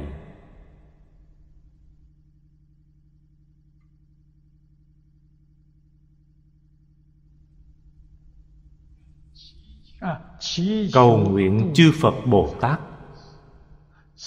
Từ bi hóa giải thiên tai. Giới khoa học chứng thực cho chúng ta thấy tám ngàn người có thể làm được. Thậm chí mỗi người tạo nghiệp Họ tự có quả báo. Không cần phải lo lắng cho họ Không cần để trong lòng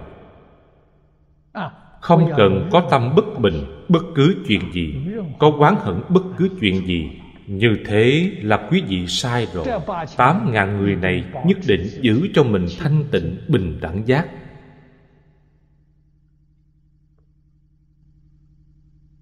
Trong tâm thật sự có phật. Trong cuộc sống hàng ngày quyết định dâng theo lời dạy bảo giữ tâm tốt.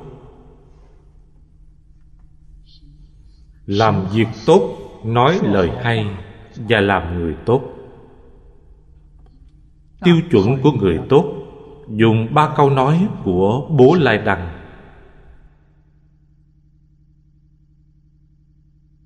Phật pháp chúng ta nói, bỏ ác tu thiện.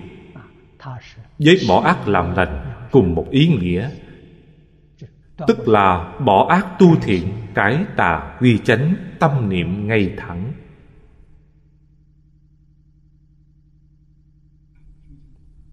Tu tịnh độ.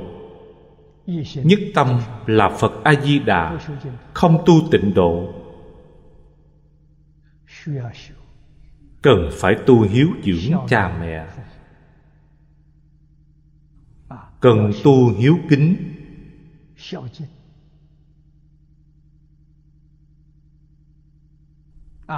tôn kính người lớn. Cần thực hành nhân nghĩa trung thứ. Các bạn học phật cần thực hiện chân thành từ bi. Khi tu tịnh độ một hướng chuyên niệm trong lòng chỉ có phật a di đà. Ngoài phật a di đà ra không có gì cả như thế là đúng rồi.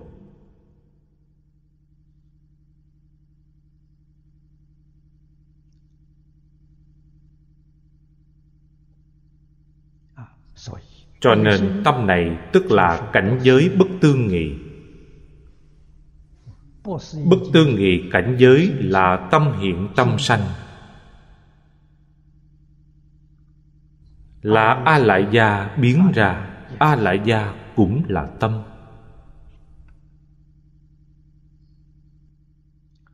Ư thử nhất tâm, niệm niệm dĩ tức không, tứ giả tức trung tam quán quán chi. Đây là ba loại chi quán của tông thiên thai.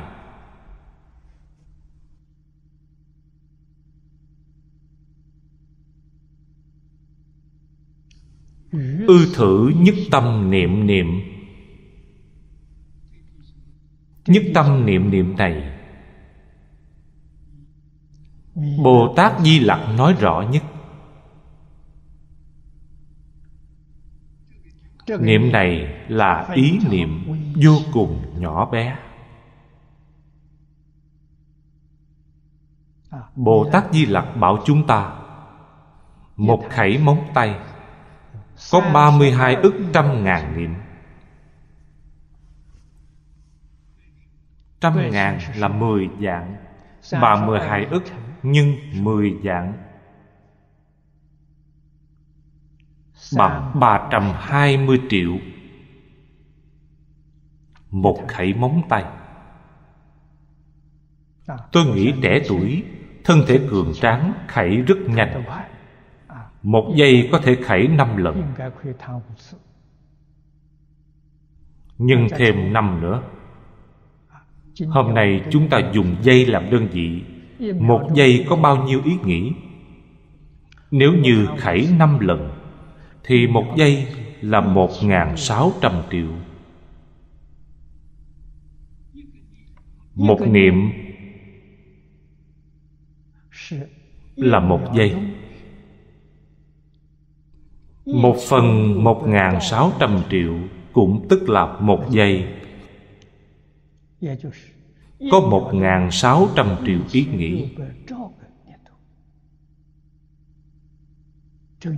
Ý nghĩ này nhỏ bé như vậy. Ý nghĩ nhanh như vậy. Tốc độ mỗi ý nghĩ là chu biến. Pháp giới xuất sanh vô tận, hàm dung không hữu. Ba loại chu biến.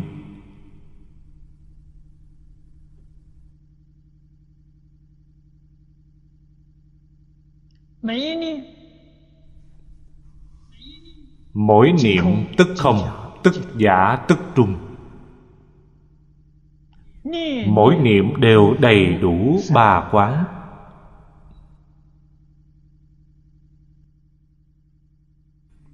Dưới đây ra ví dụ cho chúng ta thấy.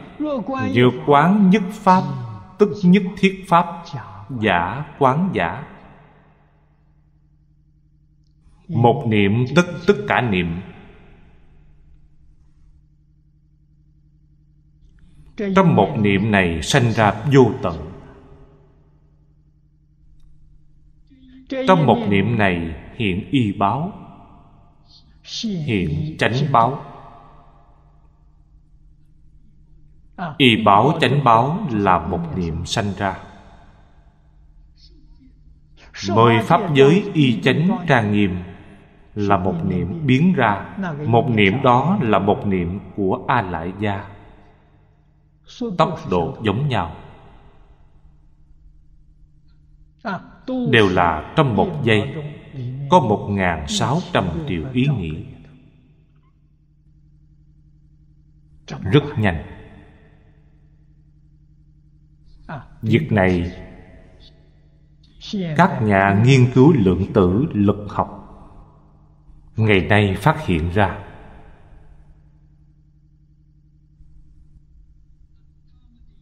Trong bài báo nghiên cứu của họ và trong duy thức pháp tướng tông nói a lại gia hầu như hoàn toàn tương đồng chỉ là tên gọi không giống nhau mà thôi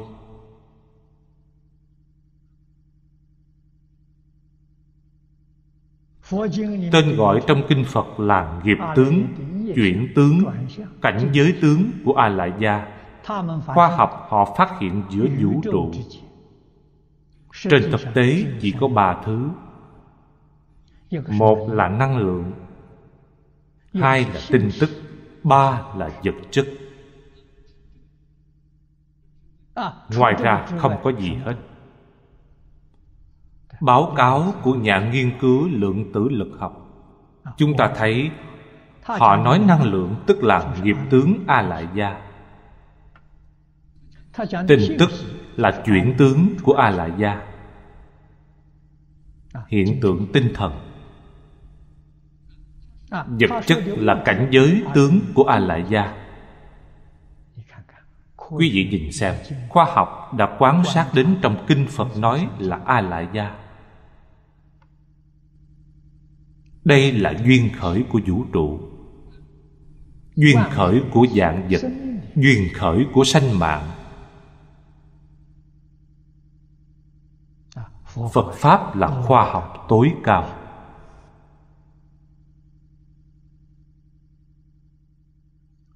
Một niệm tức không, tức giả, tức trung. Nhược quán nhất pháp, tức nhất thiết pháp, giả quán giả vì sao vậy? Bởi thấy được huyễn tướng của nó.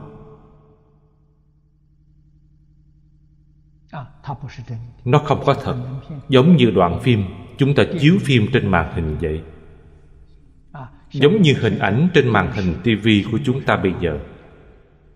Nó không có thật.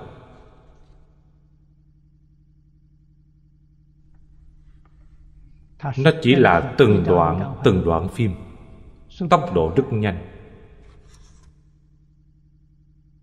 Chúng ta nhìn qua mắt, cho rằng nó là thật. Thật ra, mỗi ý nghĩ đều độc lập. Mỗi ý niệm đều không giống nhau. Tuy tương tự, nhưng hoàn toàn không giống.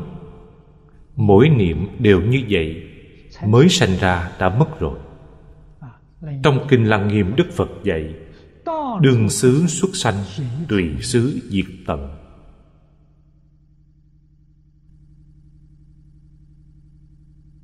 Khi nó tồn tại, hầu như quý vị tìm không thấy.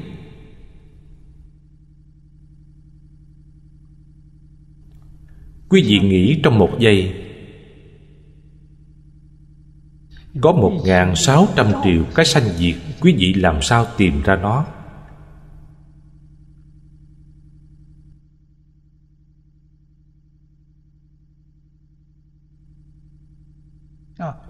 Chúng ta nói một ví dụ khác. Một giây có một ngàn sáu trăm triệu bức hình. Thước phim.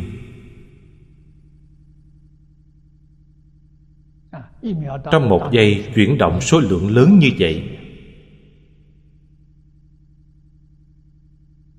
Quý vị có thể ở trong đó nhìn thấy một tấm sao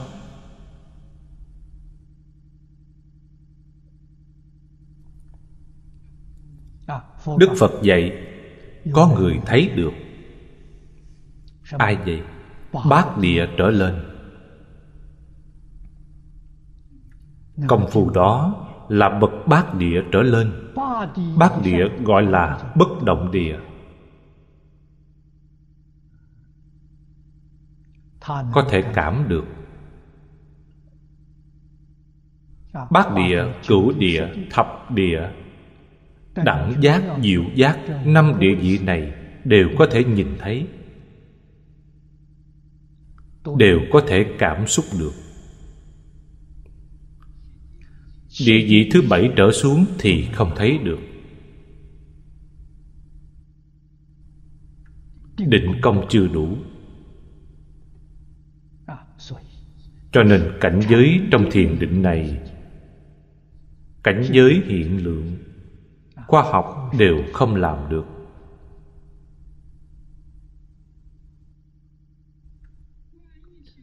Quán nhất thiết pháp tức nhất thiết pháp, đây là quán không. Đứng về mặt thể mà quán. Quán nhất pháp tức nhất thiết pháp. Quán về tướng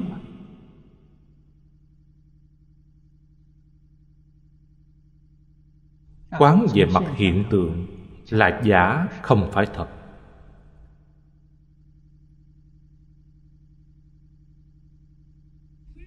Phi nhất phi nhất thiết nhi nhất nhi nhất thiết đây là quán trung đạo.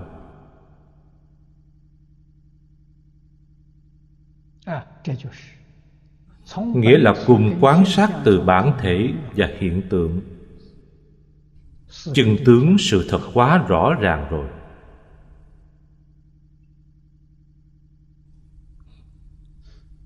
Không phải một, cũng không phải tất cả.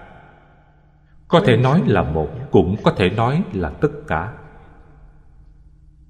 Quyết định không chấp trước, không phân biệt, không khởi tâm động niệm mới có thể thấy được. Dưới đây nói không quán phá kiến tư phiền não. Đăng bát nhã đức. Trí huệ hiện hiện tiền.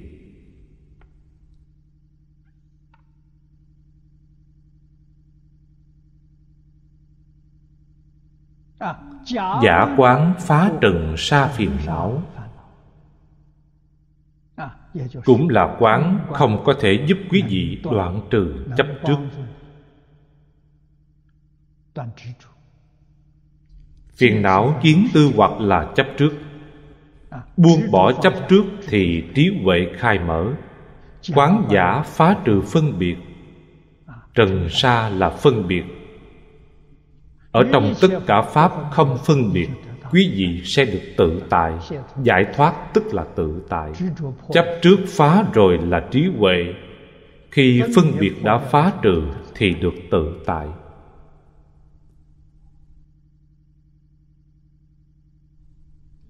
Trung quán phá vô minh. Trung quán đạo mới thật sự không khởi tâm, không động niệm. Phiền não vô minh phá rồi, thì chứng được pháp thân. Quý vị thấy được chân tướng của con người, vũ trụ.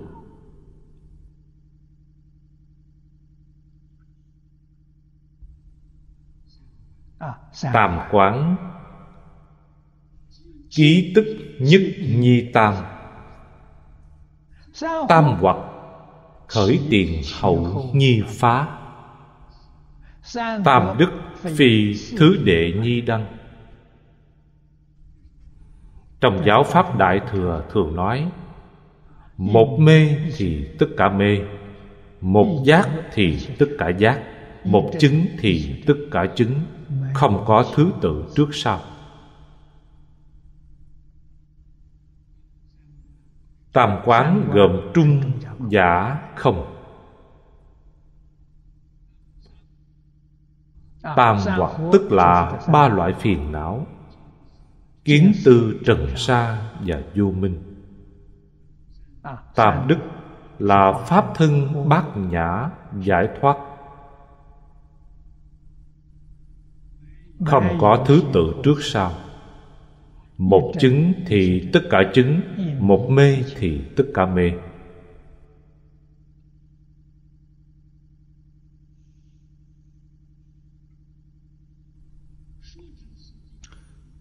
thuyết chi thứ đệ. Nói chuyện không thể cùng một lúc nói nhiều từ. Không có cách nào làm như vậy được. Phải nói từng lời từng lời. Từng câu từng câu. Không thể nào một bài văn dùng một chữ đọc hết. Dùng một câu đọc hết được, cái này không làm được. Cho nên nói có thứ tự là vậy. Lý phi thử đệ điều này nhất định phải hiểu. Đứng về lý mà nói, nhất định không có thứ tự.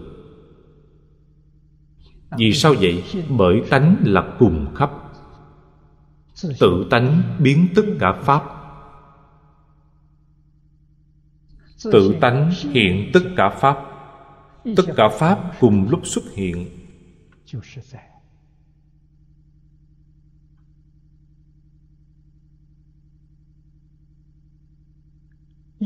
Tức là ở chỗ một phần một ngàn sáu trăm triệu. Một niệm đó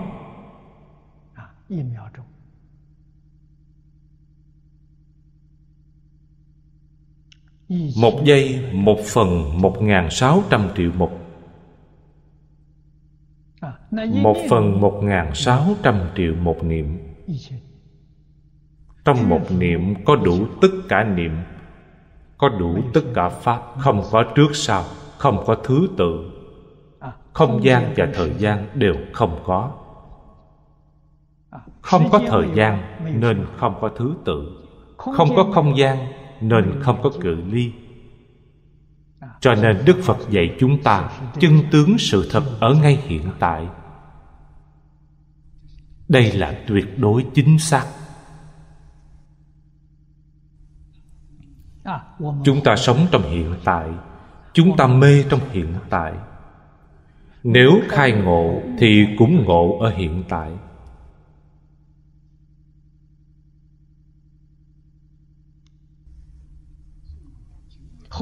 Chính phương pháp tu học sau đây lấy cái này làm nền tảng, lấy cái này làm căn bản.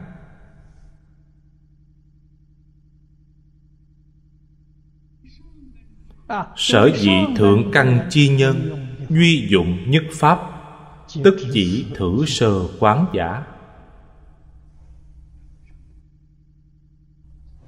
Bậc thượng căn, người thông minh chỉ cần nghe qua đạo lý này sẽ lập tức khai ngộ sẽ hiểu rõ đơn giản như vậy dễ dàng như vậy. Biết điều gì? như đã nói ở trước. Sắc tùng tâm tạo toàn thể thị tâm.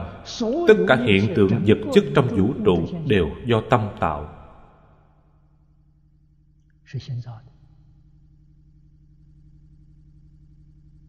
bản thể của nó là chân tâm. Ngoài tâm không có pháp ngoài pháp không có tâm. Người xưa ví dụ dùng vàng làm đồ trang sức. Đồ trang sức ví cho dạng vật. Vàng ví cho tâm. Hình dáng kiểu mẫu không giống nhau tôi đã từng đi tham quan một công xưởng trang sức vàng bạc.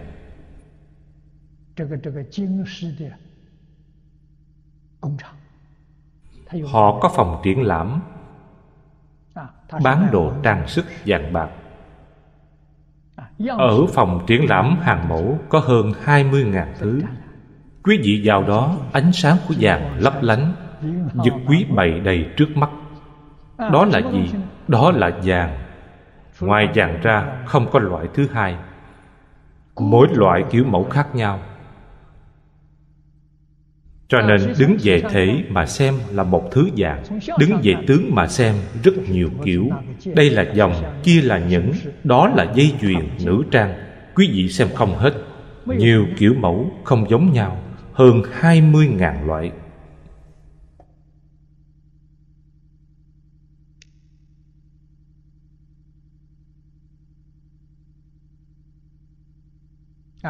Bây giờ công xưởng này của họ dời đến Trung Quốc ở Hàng Châu. Buôn bán rất tốt. Họ là đồ trang sức giả, Không phải thật. Là mạ vàng. Dùng vàng thật mạ Mạ vàng. Đồ trang sức giả rất đẹp. Lại rẻ, Lỡ mất đi cũng không đau lòng. Còn đẹp hơn vàng thật nữa. Làm rất đẹp. Dĩ khí tác kim, khí khí, dài kim. Quý vị hiểu rồi, nhiều đi nữa cũng là vàng. Quý vị phải hiểu đạo lý này. Mười pháp giới y chánh trang nghiêm, toàn là từ tâm biến hiện. Tam giới vô biệt pháp, duy thị nhất tâm tác. Cho nên tâm phải tốt nếu tâm có thể bỏ ác tu thiện Cải tà quy chánh Tâm niệm ngay thẳng. Thì cảnh giới bên ngoài lập tức biến đổi. Biến đổi thành cái gì? Thành thế giới cực lạc. Thế giới cực lạc từ đâu mà có? Là từ tâm tạo ra. Phật A-di-đà đã tạo ra thế giới cực lạc. Nếu chúng ta không tạo thế giới cực lạc Thì quý vị không đến chỗ Ngài được chúng ta giống như ngài. ngài tạo chúng ta cũng tạo. Chúng ta cùng nhau tạo. Như vậy cùng nhau giảng sanh. Ngài tạo rồi chúng ta mang theo tham sân si đi hưởng phước. làm gì có đạo lý này? Quý vị và ngài hoàn toàn xa lạ. Cho nên tâm của chúng ta và tâm phật a di đà giống nhau. Nguyện giống nhau hiểu giống nhau và làm giống nhau làm gì có chuyện không giảng sanh? Quyết định được sanh tịnh độ. Hết giờ rồi, hôm nay chúng ta học đến đây. Nam mô a di đà phật. Nguyện đem công đức này hồi hướng bốn ân và ba cõi. Nguyện khắp pháp giới các chúng sanh. Đồng sanh cực lạc thành phật đạo chúng phật tử đạo tràng tịnh độ. Nam mô a di đà phật.